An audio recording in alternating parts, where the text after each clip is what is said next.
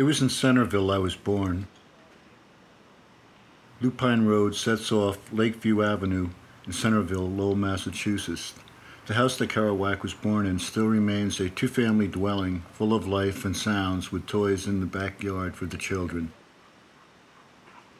The house appears to have more or less remained the same during all the changes Lowell has been through since 1922, March 12th, the day of Kerouac's birth. It was quite nostalgic and strange walking by Jack's first happy home. Everything I ever read about the place flashed before my eyes like lines and paragraphs out of visions of Gerard and Dr. Sax and Book of Dreams.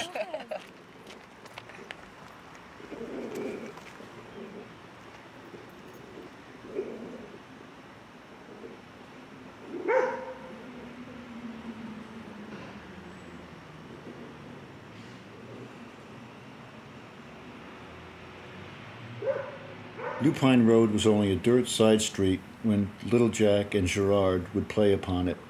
It was the scene of many mad dreams for young Jack, of parties at the end of the road, of lost bikes, lost Lowell moons. But basically, Kerouac's memories of Lupine Road were mostly good ones.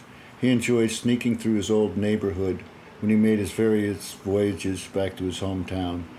Jack would revisit his infant days on Lupine Road in dreams, daydreams, and like a ghost years later, when nobody recognized the native child of Lowell as he walked along by himself, reminiscing about the days of his own confused youth.